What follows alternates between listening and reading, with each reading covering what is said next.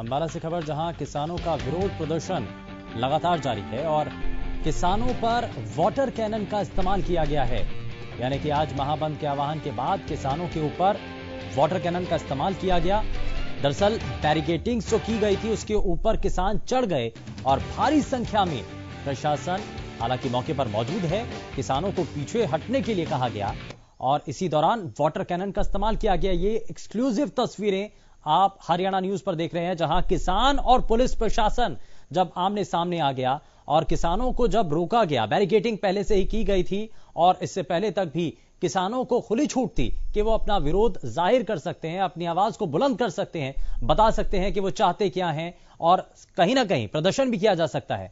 और इतने से पहले तक भी लगातार किसान अपनी बातों को रखते आए, सवाल उन्होंने उठाए, नारे उन्होंने लगाए प्रदर्शन उनके द्वारा किया गया।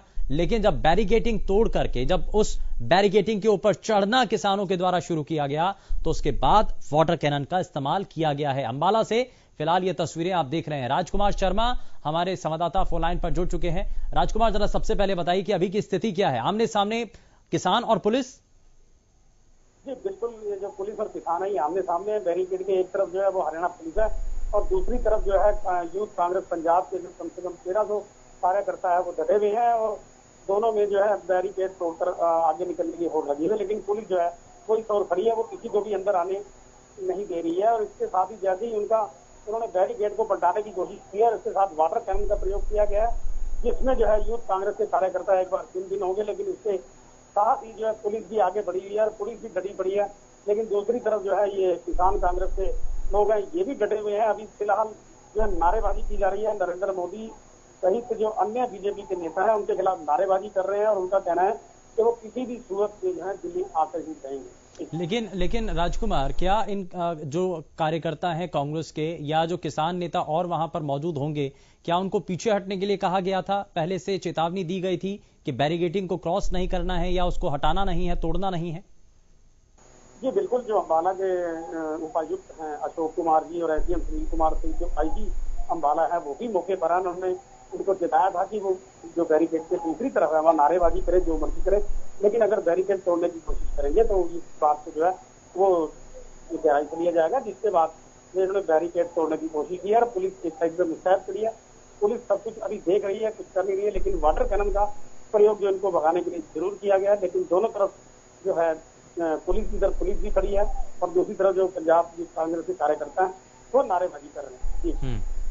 ठीक है। अभी फ़िलहाल किसानों को पीछे हटने के लिए कहा गया है। वाटर कैनन का इस्तेमाल करने के बाद?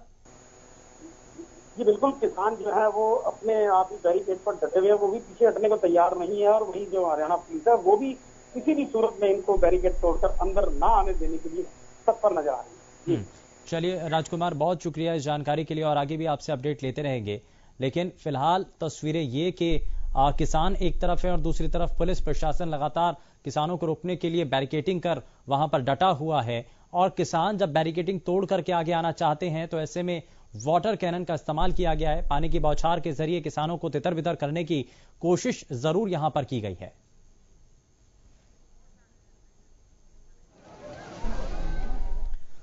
तो बैरिकेटिंग पर किसान चढ़ते हुए नज़र आए और साथ ही ये आप देख भी रहे हैं कि किसान जब इकट्ठा हुए और इसमें यूथ विंग और खास करके कांग्रेस पार्टी के कुछ कार्यकर्ता और उसमें नेता भी यहाँ पर बताए जा रहे हैं। और आप जैसा कि आप झंडा भी देख रहे थे, कांग्रेस पार्टी का यहाँ पर आपको झंडा नज़र आ रहा है। तो कांग्रेस पार्टी के कार्यकर्ता पूरी तरीके से यहाँ बैरिकेटिंग को घेर करके खड़े हुए थे। और अब जब किसान एक तरफ़ महाबंद का आह्वान कर रहे हैं तो वहीं क्योंकि हम इसमें शुरुआत से ही कह रहे हैं कि राजनीति किस रूप में है अलग अलग राजनीतिक दलों का इसमें समर्थन भी है।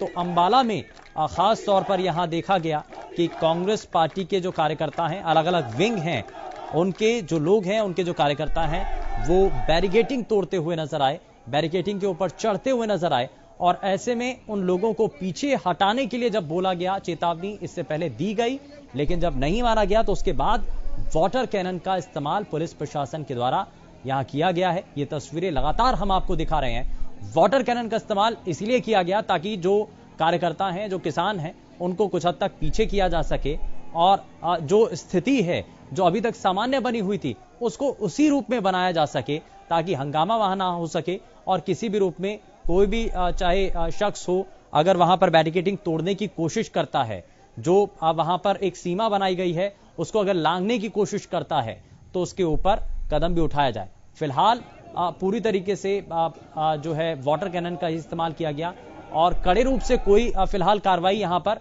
इंप्लीमेंट नहीं की गई है।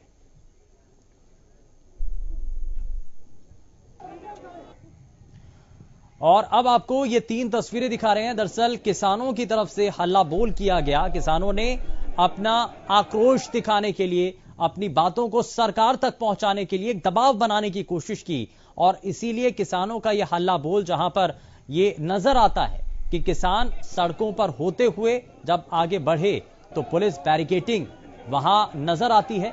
बैरिकेटिंग पर किसान चढ़ जाते हैं। ये दूसरी तस्वीर आपको दिखा रहे हैं। हम सिलसिलेवार तरीके से आपको दिखाने की कोशिश कर रहे हैं इन तीन तस्वीरों के ज़रिए कि कब, कैसे, क्या हुआ। सबसे पहले किसानों का हल्ला बोल, जब सड़कों से होते हुए वो आते हैं आगे, और उसके बाद जो मुख्य रास्ता है, वहाँ पर आकर के जब बैरिकेटिंग की गई थी, जहाँ पुलिस प्रशासन के द्वारा वहाँ आकर के उनको रोका जाता है। लेकिन जब वो नहीं रुकते हैं तो बैरिकेटिंग के ऊपर चढ़ने की कोशिश करते हैं तो वाटर कैनन का इस दौरान इस्तेमाल किया गया है।